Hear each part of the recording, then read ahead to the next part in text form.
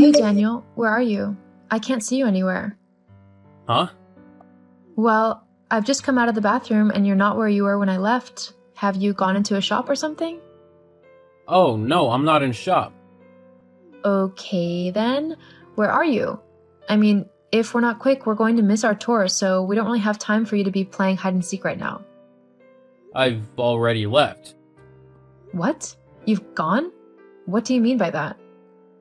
I mean exactly what I said. I've left and gone on the tour myself. I arrived early at the place, and the tour guide took the group early so that we could get more time looking around and stuff. But what about me? What about you? What am I supposed to do now? You've just gone and ditched me? Well, that's not my fault. You're the one who took forever in the bathroom. Not everyone can work around your schedule, you know. Just because you're in a wheelchair doesn't mean I should have to be late to things or miss them entirely simply because they're not handicapped accessible.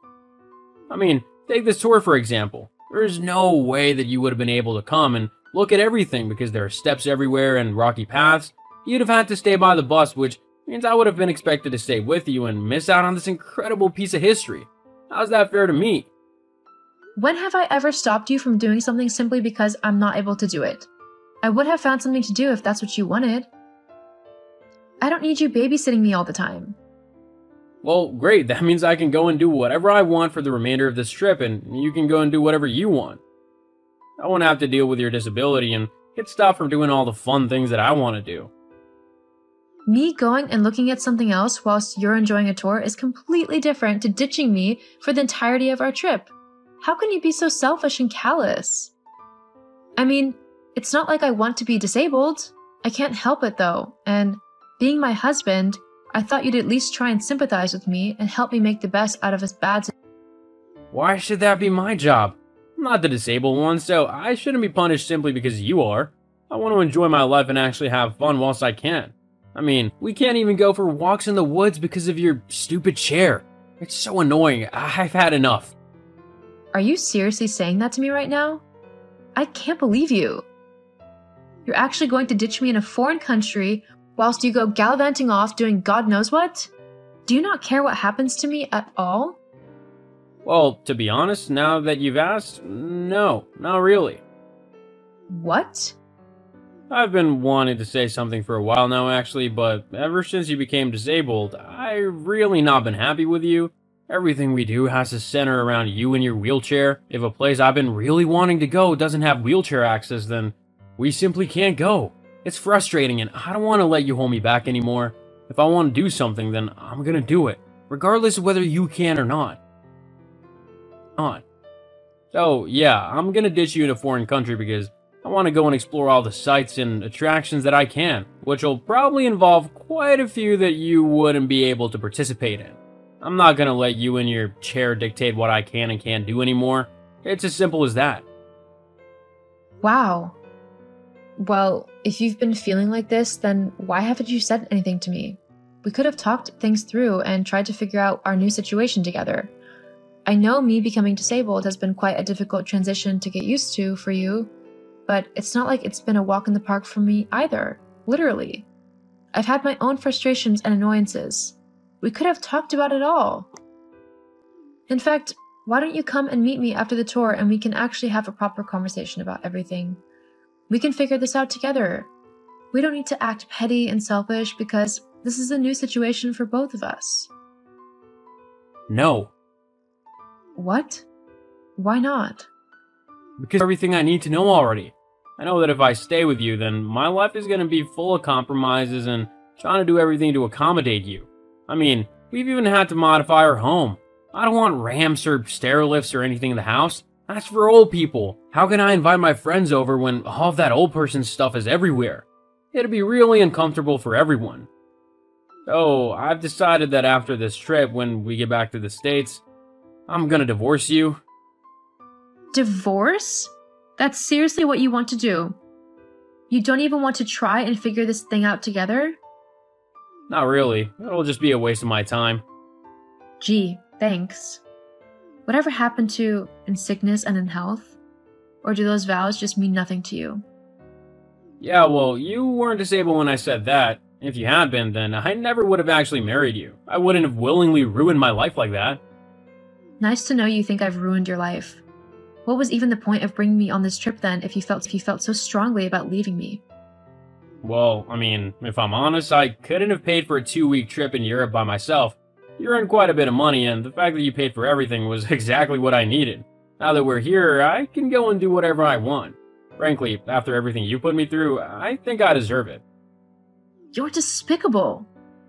If that's how you want to act, then fine. Just come and give me my bag and we can both move on with our lives and never have to have anything to do with one another ever again. Um, no, I don't think so. What? I'm not gonna give you your bag back. You can't just ditch me in a foreign country and steal my purse. That's got my passport and all my money in it. I know. What? Well, I figured that with all the trouble that you've caused me with your wheelchair and everything, I would use your money to finance the rest of my trip. You can't do that. Actually, I can. Think of it as a compensation for all the trips that I've had to miss out on and all the places that I haven't been able to go to because of you. I think I deserve to have a little bit of fun, and you can pay for it as a way to make up to me for the trouble you've caused me. If anyone needs to apologize here, it's you. You're acting so horrible to me. I can't actually wait to get home and divorce you. That's if you can get home. I mean, you're not going anywhere without your passport, which I have with me here. Looks like you're gonna be stuck here, and not just because of your wheelchair. To be honest, it saves me the trouble of ever having to see you again, so it's a win for me. Anyway, I'm gonna go now. I've got lots more to do with my day, and it doesn't involve staying on the phone and texting Cripple all day. Who knows, I might even find a cute girl to spend my time with. There is one who's been flirting with me a lot on this tour. Maybe I'll see where it goes. You're actually telling me that you're going to cheat on me? Are you really that stupid? You don't even know that woman. She's stupid. You don't even know that woman. She could be planning all sorts of things. I hope so. It's been a while since I've had some fun. I mean, it's not like you can do anything now. You know what? Whatever. I don't care what you do. I'm done with you and your revolting ways. Yeah, yeah, whatever. Good luck trying to get home.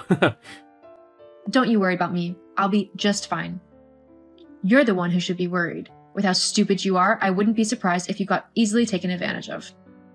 As if that would happen. I'm much smarter than you. In fact, I was so confident in my plan that I didn't even bring my own money and cards because I knew I'd be able to get yours. That's how amazing I am. You didn't bring your own money? Nope.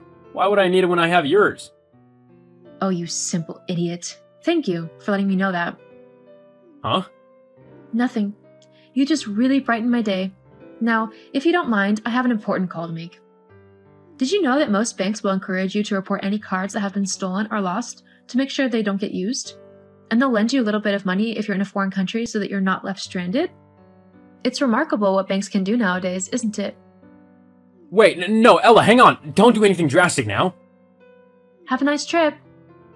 Wait, come back. Ella! Ella, what the hell? Hey, don't ignore me. Ella! What do you want? What do I want? I want to know why my house has been sold and where you've gone. Why do you care where I am? It's not like you're my husband. What? Don't be ridiculous. Yes, I am. Actually, no, you aren't. Not anymore. I filed for divorce like two weeks ago. As soon as I got back from Italy, actually. It was quite easy, especially after I showed my lawyers what you did to me whilst we were lawyers, what you did to me whilst we were away. They were very eager to help me win my case and leave you. Hang on. Lawyers? Yeah. When I showed them how you had treated me and had stolen my money and passport, they immediately began to help me get the divorce proceedings underway. I don't think they wanted to see me married to you any more than I wanted to stay married to you. I've left the papers with your mom, along with the rest of your stuff from the house. You should be hearing from my lawyers soon about compensation as well. From the way they were talking, it looks like you'll be paying me a lot of money in compensation. What? Hang on a sec. Let's not be too hasty. We we can talk about this. Maybe we don't have to get divorced. We can find a way to live with your disability. Let's just talk about this, okay? No, I don't think so. What? Why not? I gave you every chance to talk to me to try and sort things out whilst we were away. But you wanted to steal my things and leave me stranded. Thank goodness I was able to get to the embassy so that they could help me get back home. Now that I'm back, all I want to do is get you out of my life for good. I don't need someone so selfish, horrible, and downright vile in my life. But what about the house? Well, considering the house was in my name, I thought that I would sell it and move somewhere better. What about me? That's your problem now. I don't have to be your carer anymore. I can finally live my life freely and how I want to without having to pay for you. Anyway, my lawyers say that I shouldn't talk to you anymore. If there's anything you want to say, you'll have to do it through them. Goodbye. No, wait! The divorce quickly went through due to all of the evidence that I had over texts that Daniel had sent me whilst we were away. He was also ordered to pay me quite a lot in compensation for how he treated me. Since then, I found a new home that is more suited to my needs, more suited to my needs. I've also met someone new who actually appreciates me for me and doesn't let the fact that I'm in a wheelchair bother him. It's been difficult adjusting to my new life, but it hasn't stopped me from living.